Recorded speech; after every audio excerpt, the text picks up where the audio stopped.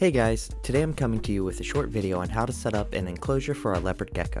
I was getting ready to change one of my enclosures, and I thought it would be a good idea to introduce the first reptile on the channel and the entire reason I started farming insects to begin with. This is my 500 subscriber special. Thanks to all of you. But first, if you are new, consider subscribing. I cover a range of topics for multiple feeder insects, and with this video, now covering reptiles as well. And with that out of the way, let's start the video. This is my boy, Senior Gonads, or just Gonads. He is a bell albino. We are going to be setting up his enclosure today. First, let's take a look at how it was before the cleaning. And now, that's a whole lot better. Let's start off by changing out the paper towels. Leopard gecko don't make a huge mess, however, over time, they will.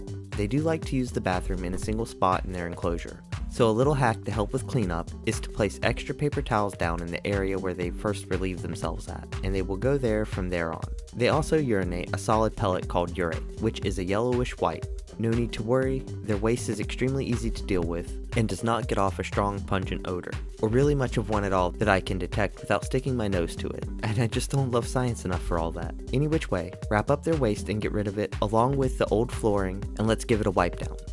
Much better. In this closure, I use a long trunk hide as a moist hide. It has sphagnum moss wrapped in paper towel to help hold moisture and assist the gecko in shedding its skin, while not giving him the potential to eat moss while he sheds. I keep a hide on the other side to give him a warm option, and then plant straight down over the side of his log hide and creates a canopy above, acting as an unconventional, however functional, cool hide. Once we place the entrance, that is a hide that one of my other geckos outgrew. I went this route due to not wanting to clutter up too much of his tank as I do find him walking around out in the open quite a bit.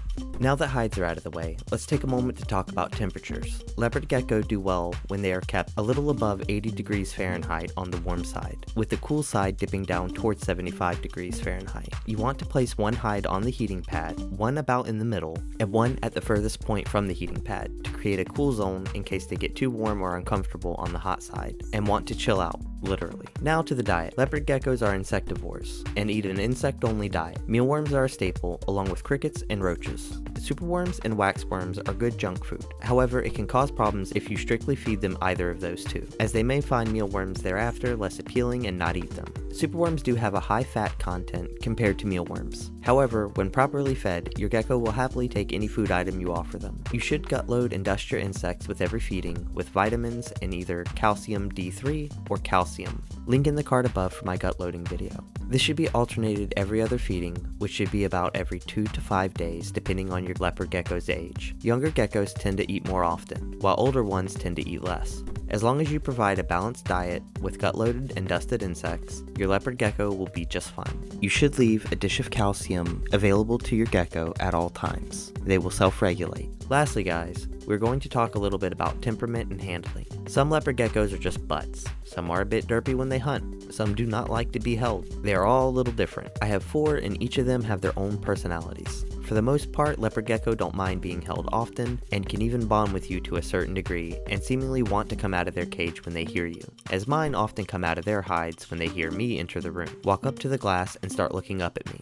It just depends on the animal and how often you handle them. Be careful and look for defensive body language like a raised tail. They will lift it and wag it back and forth when stressed or threatened. When I first got gonads, one of my first attempts handling him, he ran from me and started rattling the end of his tail. At the time, I didn't understand it, but I know now that the poor guy was stressed beyond belief and I want to avoid situations like that, as leopard gecko, like many many other lizards, can drop their tails. They will grow it back, but it won't look the same. So, give them enough hides, give them proper heating, and feed them well. And that about covers it guys. If you like this video and have it in your critter loving heart, give me a like, a subscribe, and hit the bell icon for more videos in the future like this. And as always, from the Gizards and I, have a wonderful day.